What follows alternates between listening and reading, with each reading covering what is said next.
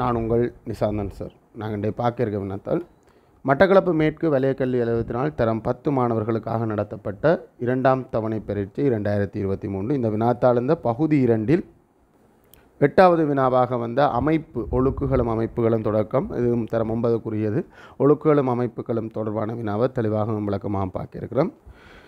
இந்த வீடியோவை பார்க்குறதுக்கு முன்னால் இந்த வினாத்தால் செய்து பார்க்கக்கூடியதாக இருந்தால் செய்து பார்த்துட்டு வீடியோக்குள்ளே வாங்க. கூட டிஸ்கிரிப்ஷன் பகுதியில் லிங்க் போட்டிருக்கேன். லிங்கை பயன்படுத்தி வினாத்தால் தரவிறக்கம் செய்து செய்து பார்க்கக்கூடியதாக இருக்கும்.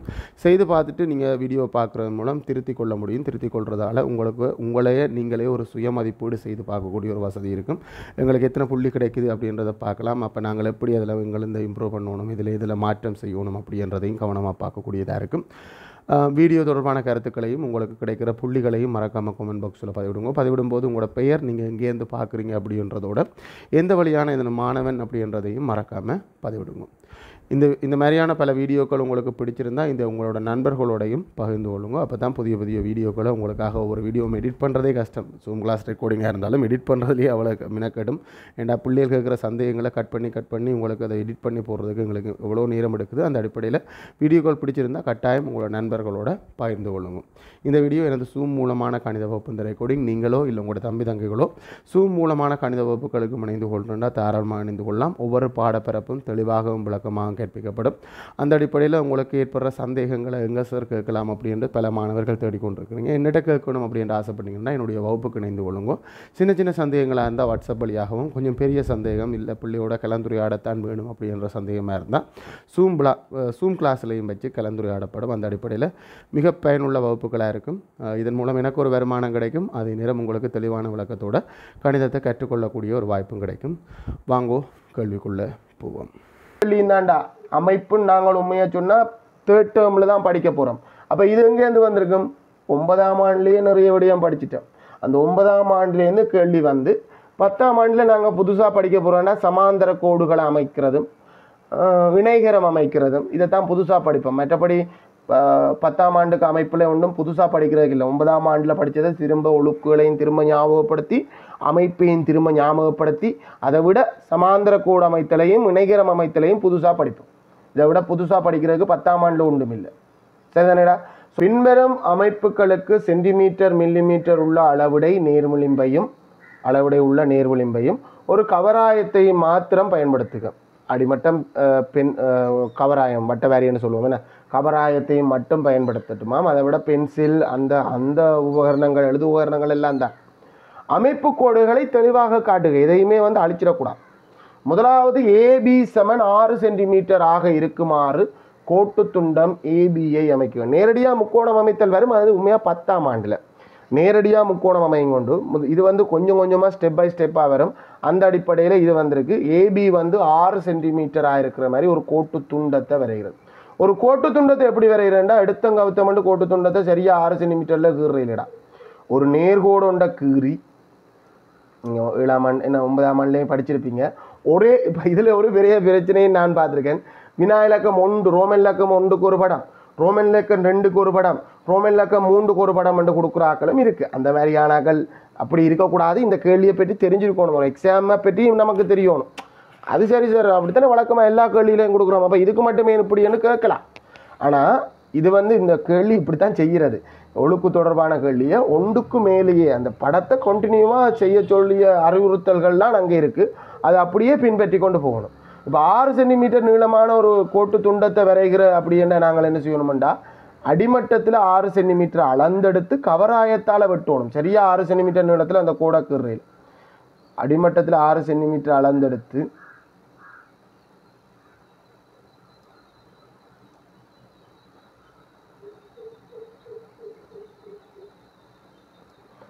கவராயத்தால் அந்த கோட்டில் ரெண்டு இடத்துல வெட்டி அப்போ தான் கோட்டு துண்டத்தை கண்டுபிடிச்சு அந்த கோட்டு துண்டத்துக்கு பேர் தான் ஏபி அப்படின்ட்டு பேர் வைக்கணும்.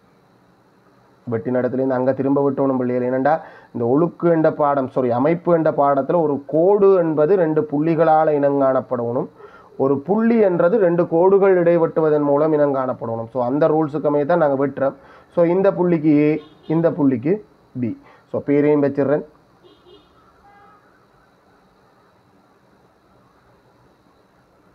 ஏபி பேரும் வச்சாச்சு அடுத்த ரெண்டாவது கேள்விக்கு போகும் பிள்ளைகள். ரெண்டாவது கேள்வி என்ன சொல்லியிருக்கு அப்படின்னு சொன்னால் ரெண்டாவது கேள்வி சொல்லியிருக்கு. அதாவது முதலாவது கேள்வி செஞ்சிட்டோம் கோடக்கிற சொன்னது கிரியாச்சு. ஏபிசி சமன் அறுபது பாகை. அறுபது பாகை கோணம். அறுபது பாகை அமைக்கிறதுக்கு என்ன செய்ய போகிறோம்டா நான் சொல்லிக் கொடுக்குறேன். நீங்கள் என்ன என்னட்டு அமை அமைப்பு படிக்கிற பத்தாம் ஆண்டில் படிக்கிற பிள்ளைகள் நான் உங்களுக்கு சொல்கிறது அமைப்பு செய்கிறதுக்கு நீங்கள் என்ன செய்யணும்னு சொல்லுவேன்டா எந்த ஒரு கோணம் அமைத்தலுக்கும் அரைவட்டத்தை பயன்படுத்தியே செய்வேன். தொண்ணூறு பாகைக்கு செங்குத்திருகுராக்கிக்கிறதன் மூலமும் தொண்ணூறு பாகை ஆனால் நான் எந்த ஒரு கோணமும் அரைவட்டத்திலேருந்தே துவங்குவேன். இப்போ அறுபது பாக பியில் அமைக்கணுமெண்டா அரைவட்டத்தை மூண்டாக்கின அரைவட்டம்ன்றது நூற்றி எண்பது பாக நூற்றி எண்பதை நூ மூண்டாக்கினா எனக்கு எத்தனை பாக வரும்? அறுபது பாக வரும். ஸோ ஒரு பொருத்தமான ஆரை நல்லா குட்டியாகவும் எடுக்காத நல்லா பெருசாகவும் எடுக்காத. பொருத்தமான ஆரை நீங்கள் இப்போ நீங்கள் ஒரு பொருத்தமான ஆரையை நீங்கள் பழகினீங்களா அது ரெண்டு சென்டிமீட்டருக்கு மூன்று சென்டிமீட்டருக்கு இடைப்பட்டது. ஆனால் அது கை கணக்கு தான். நம்ம இத்தனை தான் எடுக்கணும் அப்படி ஒன்றும் இல்லை. நீங்கள் ஒரு கை கணக்குக்கு ஒரு பொருத்தமான ஆரை எடுத்து ஒரு அரைவட்டத்தை கீறு. இந்த அரைவட்டத்தை ஆரையை மாற்றாமல் படியாக கவனிச்சுக்கொள். ஆரையை மாற்றக்கூடாது ஆரையை மாற்றாமல் மூன்று இடத்துல இடைவெட்ட முடியும். ஆரையை மாற்றாமல் மூன்று இடத்துல இடைவெட்டிலும் இதில் ஒரு இடத்துல வெட்டுறேன். ஆரையை மாற்றக்கூடாது இப்போ இந்த இடம் வந்து எனக்கு அறுபது பாகையாக இருக்கும். படியாக கவனிச்சுக்கோள். இப்போ ரெண்டு அந்த பக்கம் இருக்குது தானே சார்? ஏன் இதை கீறுறீங்களா எனக்கு அறுபது பாகை வேணும் பிள்ளைகள் அறுபது பாகன்றது கூறுங்கோணம். ஸோ ஏ பி சி இங்கே இருந்தால் தான் அறுபது. ஆனால் இந்த கோட்டில் சி இருக்குது ஆனால் இங்கே என்று சி இடத்துல இருந்திருக்கலாம். கொஞ்சம் கிட்ட இருந்திருக்கலாம். இல்லை நுனியில் இருந்திருக்கலாம். இல்லை அதை தாண்டியும் போயிருக்கலாம். சி எங்கே இருக்குன்னு தெரியாது. ஆனால் இதில் இருக்குது நான் கீறின அறுபது பாகதானோன்றதை செக் பண்ணுறது நல்ல பாகமானி எடுத்து அந்த இடத்துல வச்சு நம்ம அறுபது பாக தான் கீறி இருக்கிறோமோன்ற ஒரு டபுள் செக் பண்ணுறதுல ஒன்றும் இல்லைடா. இதில் நான் உண்மையை சொன்னால் ஒரு சின்ன ஒரு அளவில் எனக்கே வலு வந்திருக்குது. இல்லையென்று சொல்லல. அறுபது எனக்கு தெளிவாக தெரியுது. அறுபத்தி ஒன்றுக்கும் அறுபதுக்கும் இடையக்கலால போகுது. அதை திருத்தேலுமெண்டா திருத்துறது என்ன பெஸ்ட் ஏனெண்டா அங்கால கொண்டு போக கொண்டு போக இந்த பிள்ளை திரும்ப அங்கால ஒரு வேறு ஒரு பெரிய பிள்ளைக்காக அடித்தளம் விட்டுட்டு நின்று. ஸோ அதை திருத்துறது என்னென்ன நல்ல இப்போ சரியா இருக்கு. சரிதானே? அப்போ அது உங்களால் அப்படி திருத்தக்கூடிய வாய்ப்பு இருந்தால் திருத்திக் கொள்ளும். அப்போ அறுபது பாக கோடுகிற சொன்னது கீறியாச்சு. ஆனால் என்ன முடியலை? சியை நான் கண்டுபிடிக்கணும். சி எப்படி இருக்குண்டா? ஏயிலேருந்து சிக்கான தூரம் அதாவது ஏசி இந்த தூரமும் பிசி இந்த தூரம் ஏபி இந்த தூரமும் சமனா இருக்கிறது மாதிரி இருக்கு. ஸோ சி என்ற புள்ளி ஏயிலேருந்து பி எவ்வளவு தூரத்தில் இருக்கோ அப்போ நாங்கள் முதலாவது கவராயத்தை எடுத்து ஏயிலேருந்து பிக்கான தூரத்தை அளக்கணும். ஏயிலேருந்து பி எவ்வளவு தூரத்தில் இருக்கும் அப்போ கவராயத்தில் ஏபி இந்த தூரத்தை அளந்தெடுத்து அதே அளவு தூரத்தில் பியிலேருந்து சி இருக்கு. ஸோ நீ நேரையே பியில் வச்சுக்கொண்டு ஏ அளந்திருந்தா இன்னும் சுவமாக இருந்திருக்கும். பியிலேருந்து சி இருக்கு. ஸோ இந்த கோட்டில் இருக்கணும் சின்னு முதலே சொல்லிட்டேன். ஸோ இந்த கோட்டில் வெட்டினா போதும். தேவையில்லாமல் வட்டம் முழுசாக்கிற வேண்டிய அவசியம் இல்லை. ஸோ இந்த குறித்த புள்ளி தான் சி அந்த புள்ளி சியை நான் வந்து பூரணப்படுத்துகிறேன் இப்போ இதை முக்கோணமாக பூரணப்படுத்தணும்னு நினைக்கிறேன் கேள்வியை பார்ப்போம். ஆகுமாறு முக்கோணி ஏபிசியை அமைக்குக. முக்கோணி ஏபிசியை பூரணப்படுத்துகிறேன் இதை அப்படியே இணைச்சி விடுறேன். இணைச்சி விட்டால் போதும். அடிமட்டத்தை வச்சு தான் இணைக்கணும். நான் நேர கீரன் பிள்ளைகள் கோடுகள் எல்லாம் அடிமட்டத்தை வச்சு தான் இணைக்கணுமா? அடிமட்டம் ஒன்றுக்கு ரெண்டு தரம் செக் பண்ணி கீறணும் சும்மா கேட்குறேன் பிள்ளைகள் இது எந்த வகையான முக்கோணம்? நீங்கள் பத்தாம் ஆண்டு படித்து முடிச்சிட்டிங்க ஆனால் இது எந்த வகையான முக்கோணம்? நாங்கள் கீறினது இரு சமபக்கம் கோணமாக தான் கீறினோம். ஆனால் அது ஆட்டோமேட்டிக்காக சமபக்கம் கோணமாக வந்து சேருது. ஏன்னு சொல்கிறேன் நாங்கள் இந்த ரெண்டு பக்கமும் சமனாக கீறினோம். இந்த கோணம் அறுபது பாகையாக கீறினோம். நாங்கள் படிச்சிருக்கோம் சமனான பக்கங்களுக்கு எதிரான கோணங்கள் சமன். அந்த அடிப்படையில் பார்த்தா இந்த கோணம் எக்ஸ்ண்டா இந்த கோணம் எக்ஸ் இப்படி ஒரு கேள்வி கேட்கலாம். இது எந்த வகையான முக்கோணம் காரணம் தருக. பத்தாம் ஆண்டுக்கு வந்த அப்புறம் நீங்கள் காரணம் எல்லாம் சொல்ல தெரியும். சமனான பக்கங்களுக்கு எதிரான கோணங்கள் சமன். இதெல்லாம் படத்திலேயே குறித்து போட்டு நீங்கள் ரெண்டு எக்ஸ் ஆக அறுபது சமன் நூற்றி எண்பது. ஸோ ரெண்டு எக்ஸ் சமன் நூற்றி இருபது. எக்ஸ் சமன் அறுபது. அப்போ எல்லா கோணமும் இருக்கிற மூன்று கோணமுமே அறுபது பாகையாக வருது மூன்று கோணமும் சமனாண்டா மூன்று பக்கமும் சமன். ஆகவே சமபக்க முக்கோணி. நாங்கள் கீர்னது இரு சமபக்க முக்கோணியா? அது வந்து சேர்றது சமபக்க முக்கோணியாக வந்து சேருது. ஆகவே சமபக்க முக்கோணியாக இருக்குது நாங்கள் ரெண்டு பக்கம் சமனா தான் கீறினோம். ஆட்டோமேட்டிக்காக மூன்றாவது பக்கமும் சமனா வரும். ஏண்டா? அந்த தேற்றங்கள் சமனான பக்கங்களுக்கு எதிரான கோணங்கள் சமன். என்ற அந்த தேற்றம் வந்து இரு சமபக்க முக்கோண தேற்றம் வந்து எங்களுக்கு அதை கொண்டு வந்து தரும். சரி. அடுத்த கேள்விக்கு போகும் பிள்ளைகள். அடுத்த கேள்வி என்னென்னு பார்த்தா ரெண்டாவது கேள்வி செஞ்சாச்சு. மூன்றாவது கேள்வி என்னென்னு பார்ப்போம் பிள்ளைகள். மூன்றாவது கேள்வி வந்து ஏபி கம ஏசி ஆகிய கோடுகளுக்கு செங்குத்திரு சமகூராக்கிகளை அமைக்குது ஏபிக்கு ஒரு செங்குத்திரு ஊராக்கி பிசிக்கு ஒரு செங்குத்திரு ஊராக்கி ஸோ ஏபிக்கான செங்குத்திரு இருவுராக்கிக்கிறேன்டா ஏயிலேருந்தும் பியிலேருந்தும் சம தூரத்தில் இருக்க ரெண்டு புள்ளி வேணும். ஸோ ஒரு முக்காவாசி நீளம் அளந்தெடுத்து பொருத்தமான நீளம் இடத்தெடுத்து இங்கே ஒருக்கா விட்டுறேன். அடிமட்டத்தை தூக்கிட்டு. கீழே ஒருக்கா வெட்டுறேன். அதே மாதிரி ஏயிலிருந்தும் அந்த ஏற்கனவே வெட்டின புள்ளி வெட்டுப்படாட்டி நாங்கள் திரும்ப நீட்டுவோம். அதை பற்றி பயப்படாங்க இது வெட்டுப்பட்டுட்டு ரெண்டாலும் திரும்ப நீட்டுவோம். இதுவும் மட்டு மட்டாக தான் வெட்டுப்பட்டுச்சு. திரும்ப நீட்டுவோம். ரைட்டா சரி அது ஒரு பிரச்சனையும் இல்லை. நாங்கள் திரும்ப நீட்டிடுவோம். திரும்ப பியில் வச்சு. அது வந்து சரியாக வில் வந்து ஒன்று ஒன்று க்ரோஸ் பண்ணுற மாதிரி வெட்டணும். எந்த ஒரு அமைப்பு கோடுகளையும் அழிக்கக்கூடாது. அது ரொம்ப முக்கியம். இந்த அமைப்பு கோடுகளை வச்சு தான் நாங்கள் எப்படி இந்த அமைப்பை செஞ்சுருக்கிறோம்ன்றது வரும். இந்த ரெண்டு கோட்டையும் இணைச்சு நீட்டோம் இப்போ நாங்கள் அடிமட்டத்தை வச்சு தான் செய்யணும். என்ன அடிமட்டத்தை இதில் கையாளுறதுக்கு எனக்கு கஷ்டம். அதனாடி வேறு ஒரு ஆப்ஷன் இருக்குது அதை நான் கையாளுறேன். நீங்கள் அடிமட்டத்தை பய பயன்படுத்தி இந்த ரெண்டு கோடையும் இணைக்கிறது மட்டும் இல்லை பிள்ளைகள் அந்த இணைத்த கூட நீட்டணும். அது அப்படியே சீக்குள்ளால் போகுமா? அது சமபக்க முக்கோணத்துக்கு இல்லை இரு சமபக்க முக்கோணத்துக்கு தான் இந்த சிறப்பு நடக்கும். இந்த ரெண்டு பக்கமும் சமனாக இருக்கிறதால இது சீக்குள்ளால் போகும். மற்றபடி எல்லா முக்கோணத்துக்கும் இப்படி போகணுமென்று எதிர்பார்க்காதீங்கோ அது போகாது.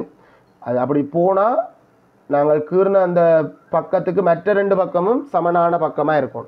இது முதலாவது செஞ்சுருக்கோம். ஒரு கோட்டு சம இரு சம செங்குத்திருகூர் ஆக்கி அடுத்தது வந்து பிசி இந்த செங்குத்திருகூர் ஆக்கிங்கிறோணும் பிசி இங்கே இருக்குது பிசி இந்த செங்குத்திருகூர் ஆக்கிக்கிறதுக்கு பியிலேருந்தும் சியிலேருந்தும் சம தூரம். ஸோ அதே தூரத்தையே வச்சிருந்துருக்கலாம். என்ன? அதே தூரம் தானே. வேறு எந்த தூரமும் வச்சிருந்துருக்கலாம். கொஞ்சம் நீட்டுறேன்டா இந்த கோட்டில் வந்து ச- சந்திக்க போதும் நடி கொஞ்சம் நீட்டுறேன். இந்த பக்கம் வெட்டுறதோடய அந்த பக்கம் வெட்டணுமெண்டு இல்லை. அதுக்கு வேறு நீளமும் பயன்படுத்தலாம். ரெண்டு ஒரே நீளமாக பயன்படுத்துறது கொஞ்சம் நல்லம். எங்களுக்கு கொஞ்சம் அமைக்கிறதுக்கு சுவமாக இருக்கும். அதுக்கேற்ற மாதிரியா?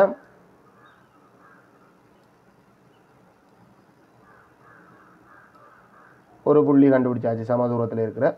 செங்குத்திரூராக்கின்றது சமதூரத்தில் உள்ள புள்ளிகளின் ஒழுக்கு. அதை வச்சு தான் நான் செங்குத்திரூராக்கியகிறேன் ஸோ அதையும் இணைச்சி நீட்டணும். அதையும் இணைக்கிறதோடு மட்டும் இல்லை இணைச்சி நீட்டணும். இந்த பக்கம் நீட்டணும். அந்த பக்கம் நீட்டணும். இதுவும் ஏக்குள்ளால் போகும். அது சரியா ஏக்குள்ளால் போகும். இங்க கீறி பாருங்க. சமபக்கம் கோணத்துக்கு இருக்கிற சிறப்பு. இப்போ இந்த சம ரெண்டு செங்குத்திரு செங்குத்திருவுராக்கிகளையும் கீரை சொன்னது கீராச்சு அந்த செங்குத்திராக்கிகளை அமைத்து அவை சந்திக்கும் புள்ளியை ஓ என பேரிடுக இந்த புள்ளிக்கு பேர் ஓவா அந்த புள்ளி இந்த பேரை ஓ ஒன்று பேரை வச்சிருவோம். இந்த புள்ளிக்கு இந்த ரெண்டு ஒழுக்கும் சந்திக்கிற புள்ளி. இந்த புள்ளிக்கு ஓ ஒன்று பேர் வச்சிருவோம். ரைட் ஓ என பேர் வைக்க வச்சாச்சு. அந்த கல்வி முடிச்சு. ஓவை மையமாகவும் ஓஏஐ ஆரியாகவும் கொண்ட வட்டம் ஒன்றை அமைக்கிறது ஸோ கவராய தேடு. ஓ மையத்தில் கொண்டு வந்து கவராய கூறவை பென்சில் முனையை கொண்டு போய் பரிதியில் உள்ள ஓஏன்றது தானே பரிதி இந்த புள்ளின்னு சொன்னது. ஸோ ஏயில் கொண்டு போய் பென்சில் முனையை வை. இது பதினோராம் ஆண்டில் படித்து முடியக்க இந்த வட்டத்துக்கு பேர் சுற்று வட்டம் இப்போ இந்த வட்டத்தை நீ கீறு. சிபி எல்லாத்துக்குள்ளாலையும் போகும். ஏன்னா சமதூரத்தில் இருக்கிற புள்ளிகளின் ஒழுக்கு கீர்னி அந்த அடிப்படையில் அது சிபி எல்லாத்துக்குள்ளாலையும் போகும். இந்த வட்டத்தை தான் கீற சொல்லியிருக்கு. அந்த வட்டத்தை கீறதோட மட்டும் இல்லை ஆரையை அளந்துறத சொல்கிறது அது அடுத்த கேள்வி ஆரையை சொல்லணும். ஸோ அடிமட்டத்தில் அந்த கவராயத்தை கொண்டு வா. அந்த கீர்ண கவராயத்தை கொண்டு வா. நீ அடிமட்டத்தை நேராக கொண்டு போய் படத்தில் அப்ளை பண்ணாத. கவராயத்தை கொண்டு வந்து கவராயத்தில் இருக்கிற ஆரையை அளந்தெடு.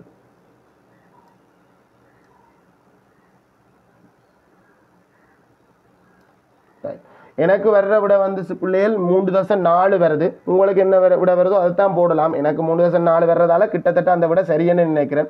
ஆகவே நான் விடையை சொல்லிடுறேன் பிள்ளைகள். எனக்கு வந்து மூன்று தசம் நாலு தான் சரியான விட. மூன்று தசம் அஞ்சு வந்தாலும் போட்டுக்கொள்ளுங்கவா ரைட் வினா இலக்கம் நாலுக்கு இதுக்கு மட்டும் விட கொடுக்கணும். மூன்று தசம் நாலு சென்டிமீட்டர். சொல்லுமா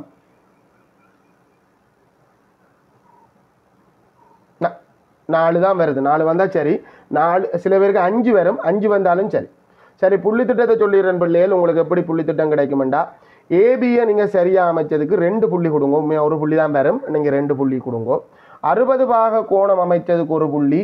அந்த சியை கண்டுபிடிச்சு அதை முக்கோணமாக பூரணப்படுத்தினதுக்கு ஒரு புள்ளி. பொதுவாக முக்கோணம் அமைத்தலுக்கு உங்களுக்கு வர்ற புள்ளி உங்களுக்கு மூன்று புள்ளி தான் மேக்சிமம் நான் நாலு புள்ளி தரேன் ஏன்னா பத்தாம் ஆண்டு ஒன்பதாம் ஆண்டு அறிவுக்கு செய்தது தானே ஸோ ஒன்பதாம் ஆண்டு கேட்ட மாதிரி புள்ளி திட்டம் தான். அடுத்தது ஒவ்வொரு செங்குத்திருவுராக்கிக்கும் ரெண்டு புள்ளி கொடுங்க. ஒவ்வொரு செங்குத்திருவுராக்கிக்கும் இல்லை ஒரு செங்குத்திருவுராக்கி ரெண்டு புள்ளி கொடுத்தா அடுத்ததுக்கு ஒன்று கொடுங்க. ஏன்னா திரும்ப திரும்ப வர்றதால ஒன்று கொடுங்க. இல்லாட்டி நீங்கள் முக்கோணத்தில் குறைச்சிருந்தீங்கன்னா இங்கே கொடுத்துருக்கலாம். ரைட் ஓவை மையமாக கொண்ட வட்டங்கிறதுக்கு ரெண்டு மார்க்ஸ் அந்த ஆரியை அளந்து சமர்ப்பிக்கிறதுக்கு ஒரு மார்க்ஸ் மொத்தமாக பத்துக்கு இந்த குறித்த வினாவுக்கு பத்துக்கு தானே போட்டிருக்கோம் பாருங்களா இந்த மூன்று ஏழு சரிதானே நாலு எட்டு பத்து. ஓ பத்துக்கு எத்தனைன்றதை போடுங்க.